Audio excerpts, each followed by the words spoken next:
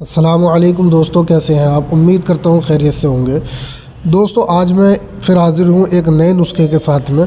ये नुस्खा वीर्य को गाढ़ा करता है, वीर्य को पैदा भी करता है।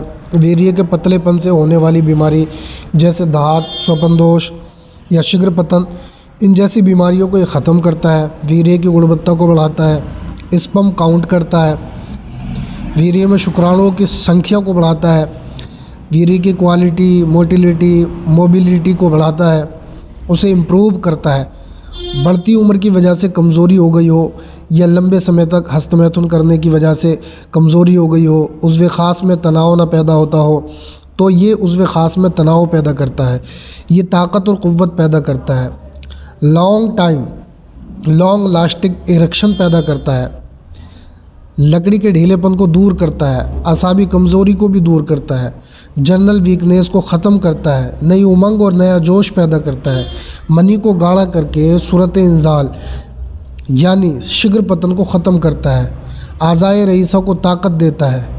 मेल ऑर्गन्स के लिए ख़ास है और साथ ही ये नर्वस सिस्टम को भी ताकत देता है, जनरल वीकनेस को दूर करता है।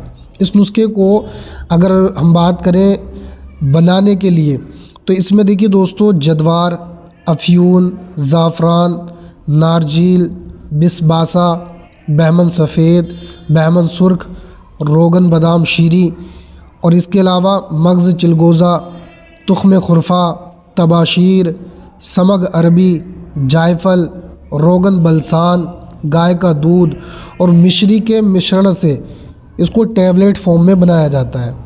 अब दोस्तों, अगर हम इसकी बात करें इसके सेवन की, यानी इसको किस तरीके से इस्तेमाल किया जा सकता है?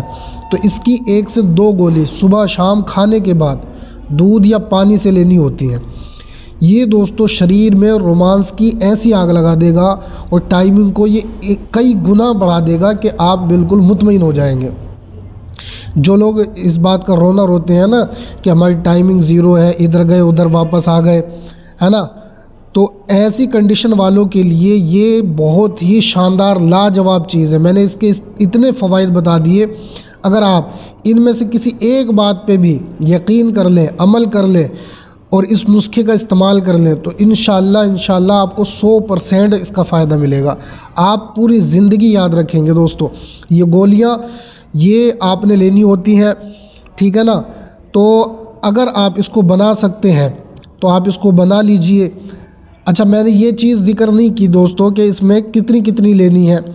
तो देखिए पहली बात तो मैं बताना नहीं चाहता क्योंकि हर किसी से ये नुस्खा बनेगा नहीं। ठीक है ना? और जो बनाने वाले हैं वो बग़ैर बताए ही समझ जाएँगे कि इसको किस तरीके से बनाना है, इसको टैबलेट फॉर्म में बनाना है, ठीक है ना? बाकी मैंने सारी बातें आपको बता दी हैं, लेकिन फिर भी अगर किसी को कोई डाउट हो या कोई आप सवाल करना चाहते हैं तो कमेंट बॉक्स में आप लिख सकते हैं या फिर हमसे संपर्क कर सकते हैं। हमारा नंबर आपको व्हाट्सअप स्क्रीन पर दिख रहा होगा। आप वहाँ से हमसे कांटेक्ट कर सकते हैं। तो दोस्तों, आप इस नुस्खे को बनाइए, इसका इस्तेमाल कीजिए और इससे भरपूर फ़ायदे उठाइए और बिलखसूस दुआओं में याद रखिए। जिन भाइयों ने चैनल को सब्सक्राइब सब्सक्राइब कर दें। मैं मिलता हूँ इन नेक्स्ट वीडियो में। तब तक के लिए खुदा हाफिज़।